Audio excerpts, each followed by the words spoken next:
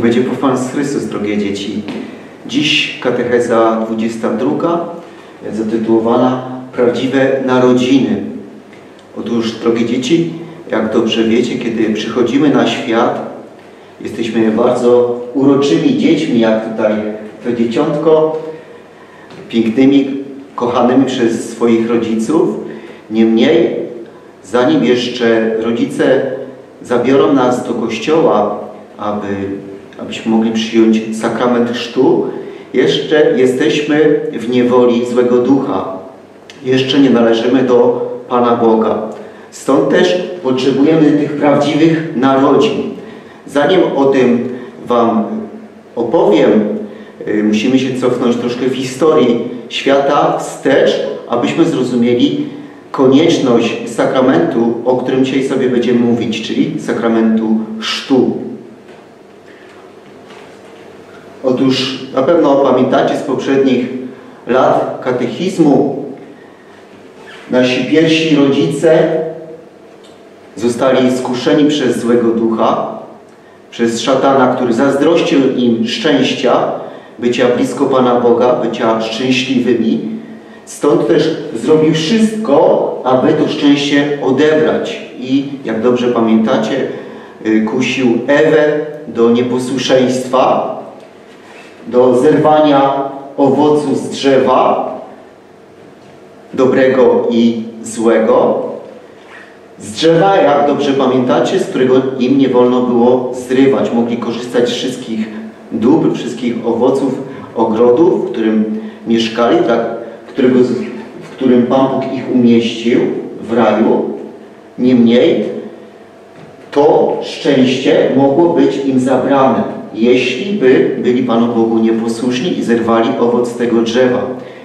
Jak dobrze wiecie i dobrze pamiętacie, y, szatanowi udało skusić się, skusić Ewę do nieposłuszeństwa, zerwała owoc i dała również Adamowi. I to nieposłuszeństwo spowodowało to, że Adam i Ewa utracili łaskę, którą otrzymali, kiedy Pan Bóg ich stworzył. I także nie mogą już pójść do nieba. Bramy niebos są dla nich zamknięte.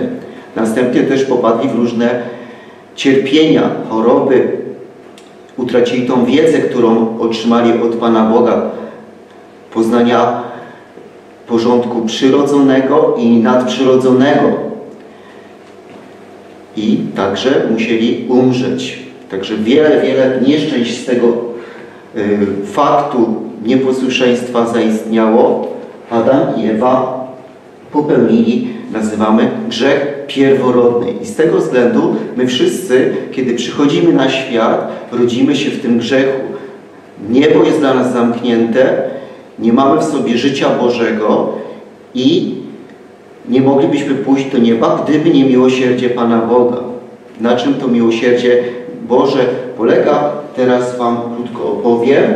Otóż, jak widzimy na tym obrazku, rodząc się jesteśmy w szponach szatana. Ta plama grzechu pierworodnego jest na naszej duszy, która powoduje, że jesteśmy nieprzyjaciółmi Pana Boga, wrogami Pana Boga, a natomiast jesteśmy w niewoli szatana, złego ducha. Brama, jak, brama niebios, jak widzimy tu kłódkę, która nam tutaj to obrazuje, jest dla nas zamknięta. Stąd też musimy jest przyjąć sakrament, który byłby pomocą, który by zmazał tą grzechu, zmazę grzechu pierworodnego, aby niebo było dla nas otwarte. I jest to sakrament chrztu. Tu mamy e, taką piękną historię. E, po lewej stronie tutaj mamy Pana Jezusa, a po drugiej Nikodema. To był człowiek, który należał do Rady Żydowskiej. Był jednym z takich nauczycieli, ale było to zgromadzenie bardzo wrogie Panu Jezusowi, które nie chciało uwierzyć w to, że Pan Jezus jest prawdziwym Synem Bożym, który stał się człowiekiem dla naszego zbawienia, prawdziwym Mesjaszem. I ten człowiek jednak widząc to wszystko, co Pan Jezus mówi, co, co czyni, przyszedł i powiedział takie słowa. Wiemy, że od Boga przyszedłeś jako nauczyciel. Nikt bowiem nie mógłby czynić takich znaków. Znaków to chodzi o te cuda, które Pan Jezus czynił, czyli uzdrawienia chorych, wskrzeszenia umarłych, tak, odpuszczenia grzechów. Jakie Ty czynisz, gdyby Bóg nie był z nim. Czyli widzimy Nikodem, widząc y, postawę Pana Jezusa, Jego dobroć, Jego miłość, a przede wszystkim te cudowne rzeczy, które czyni. Nawraca się, wierzy w głębi serca, że jest Pan Jezus jest Bogiem, ale boi się przyjść do Niego w dniu za dnia, bo mogliby Go inni widzieć i być może miałby problemy, więc woli przyjść wieczorem i pyta Pana Jezusa, co ma zrobić, aby być zbawionym. I wtedy Pan Jezus mu mówi o konieczności przyjęcia po pierwsze sakramentu chrztu. Takie słowa kieruje do Nikodema. Zaprawdę, zaprawdę powiadam Ci, jeśli się ktoś nie narodzi z wody i ducha, nie może wejść do Królestwa Bożego. Czyli jeśli ktoś nie przyjmie sakramentu chrztu, ten nie będzie mógł pójść do nieba. Jest to pierwszy konieczny warunek, aby pójść do nieba. Otrzymać łaskę chrztu, aby stać się dzieckiem, dzieckiem Bożym.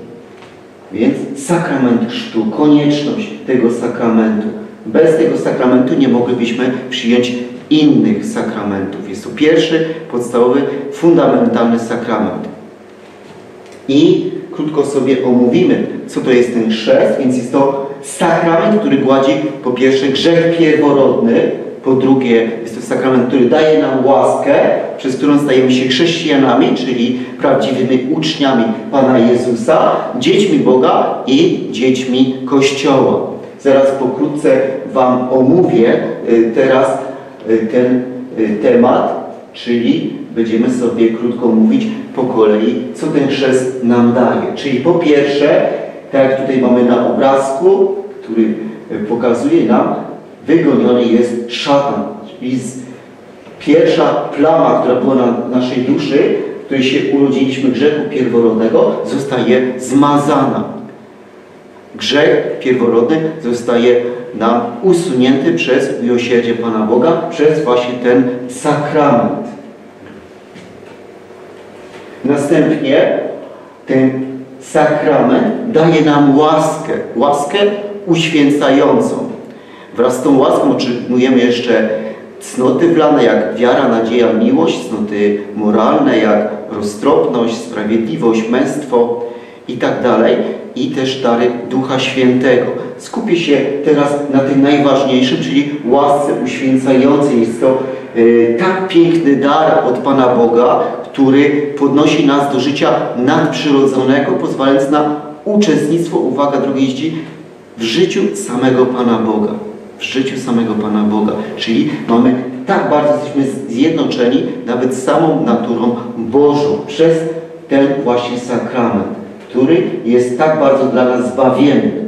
I ta, ten dar, ta łaska uświęcająca, którą otrzymujemy, wyciska na naszej duszy takie niezatarte znamie, że jesteśmy odtąd chrześcijanami, dziećmi Pana Boga, e, dziećmi Kościoła. Dobrze, więc jest to dar łaski.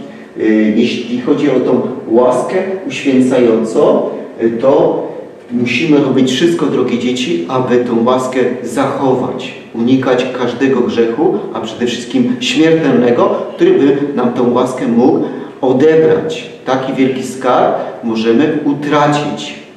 I święta Elżbieta od Trójcy Przynajświętszej miała tak wielką e, adorację do Pana Boga, e, że często przypominała sobie o tej obecności, że właśnie przez sakrament chrztu jej serce stało się niebo, bo niebo, jak drogie dzieci, drogie dzieci wiecie, niebo to Bóg, a Bóg właśnie przez ten sakrament mieszka w waszej duszy. Więc piękny skarb, więc oprócz tego, że zmazuje ten sakrament grzech pierworodny, daje nam łaskę, przez ten sakrament stajemy się również chrześcijanami, czyli uczniami Pana Jezusa. Tutaj mamy obrazek, który nam przypomina tą piękną prawdę naszej wiary, kiedy Pan nasz Jezus Chrystus 10 dni po swoim w niebo wstąpieniu posłał na apostołów, na Matkę Bożą, tak, zesłanie Ducha Świętego, aby ich umocnić, aby oświetlić ich rozum, aby stali się mężni, by głosić naukę katolicką. Rozpowszechniać to wszystko, te wszystkie prawdy, które Pan Jezus ich nauczył. I my przez ten sakrament stajemy się również chrześcijanami, uczniami Pana Jezusa, czyli mamy wyznawać całą naukę, którą nam apostołowie przekazali przez Kościół Święty, głęboko w nią wierzyć i zachować przykazania, przykazania Boże i Kościelne, abyśmy byli prawdziwymi uczniami, chrześcijanami, o których mówi się, że bardzo się miłowali.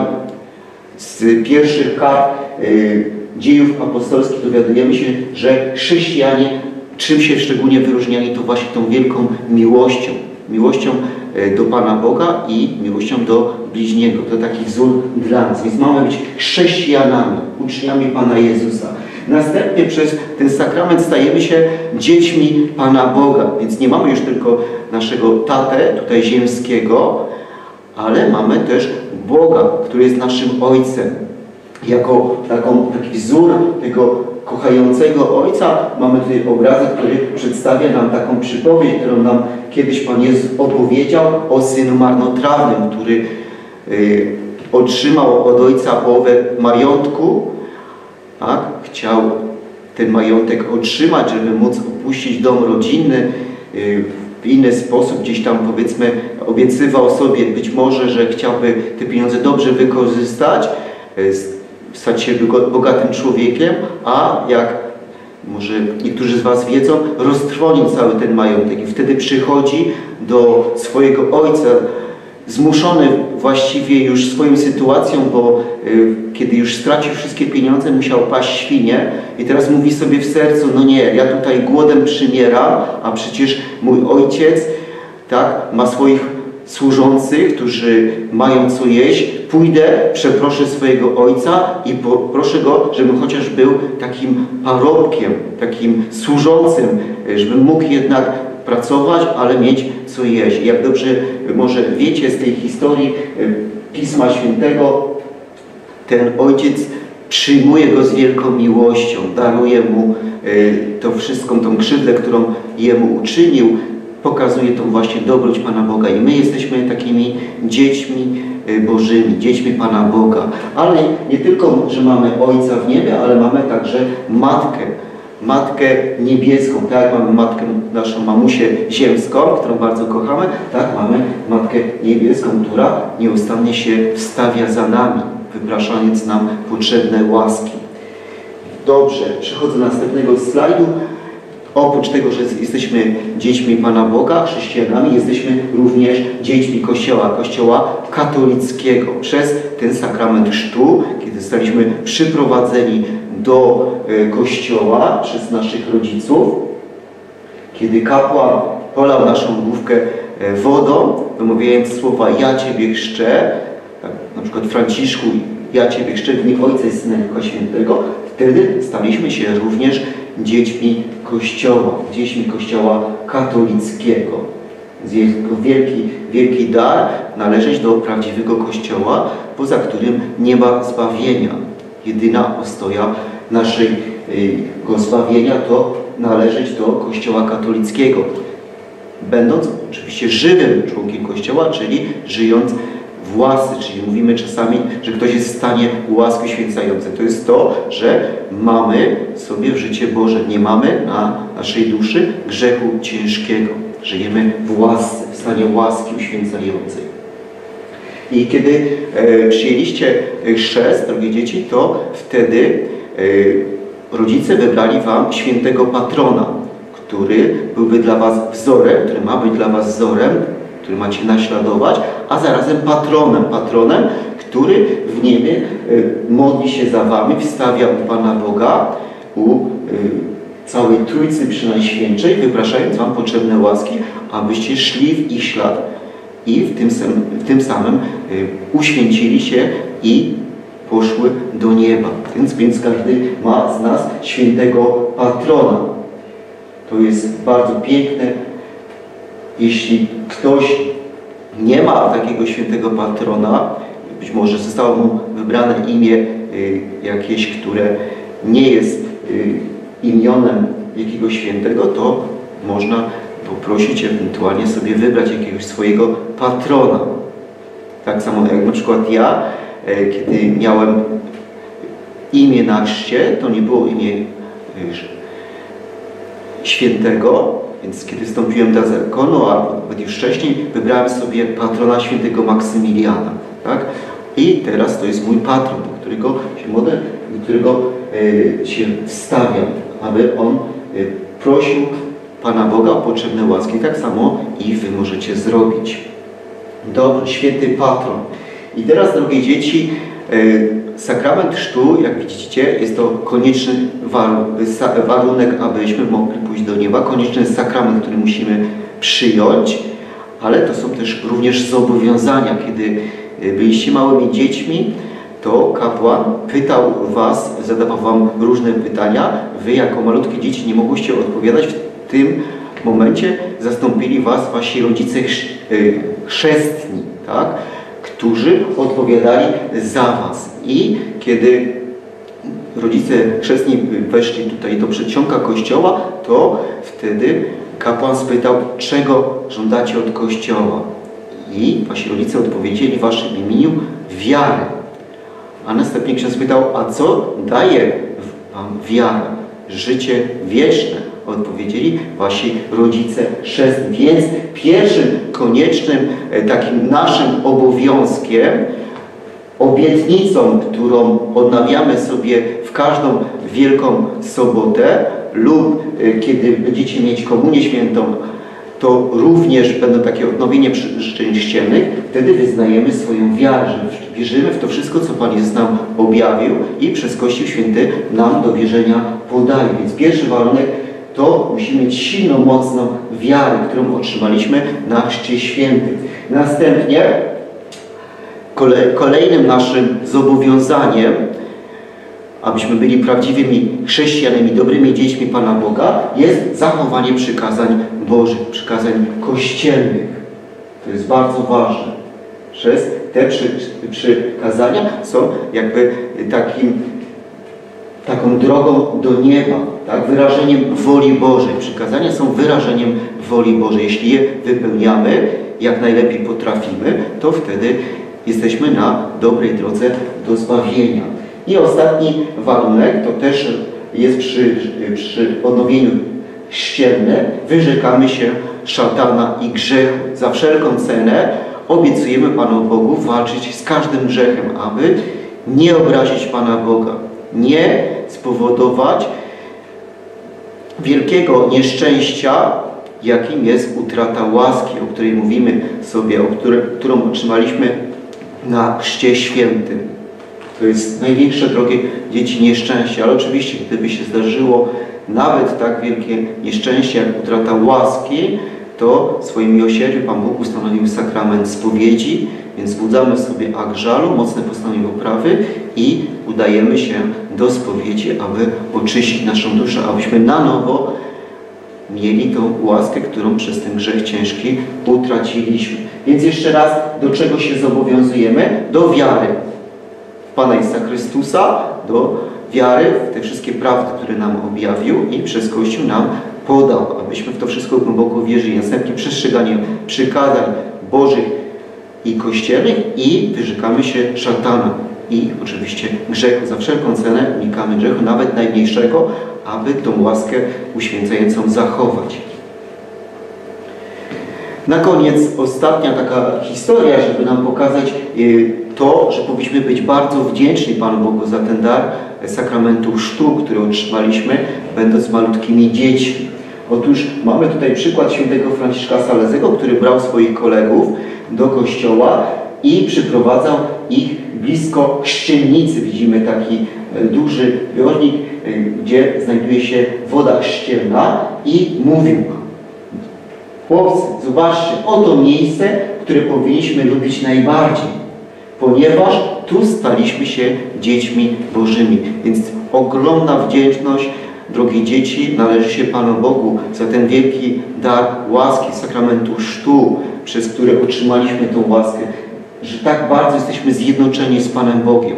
Dziękować za to często Panu Bogu i kiedy spytacie swoich rodziców, poznacie datę y, swoich nowych narodzin, tych ważniejszych narodzin, nie tylko dla tego życia ziemskiego, ale tego nadprzyrodzonego życia łaski. Jeśli poznacie datę, to postarajcie się w tym dniu, jeśli to jest możliwe i rodzice pozwolą, y, przywieźli Was do kościoła, dobrze byłoby uczestniczyć w tym dniu na mszy świętej, podziękować y, w ten sposób Panu Bogu, jakąś może małą uroczystość po mszy, tak, przyjąć Pana Jezusa w Komunii Świętej, aby w ten sposób podziękować e, Panu Bogu. I oczywiście nie zapominamy o świętym patronie,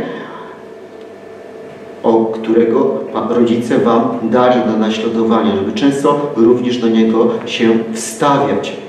Także e, tym e, slajdem kończę naszą e, dzisiejszą katechezę nowych narodzin, narodzin dla łaski, dla nieba. Jeśli tylko tą łaskę zachowamy, drogie dzieci, z pomocą Pana Boga, z pomocą sakramentów, modlitwy codziennej, umartwienia, walki ze swoimi wadami, to zasłużymy sobie na wieczne szczęście w niebie, czego sobie i Wam, drogie dzieci, gorąco życzę.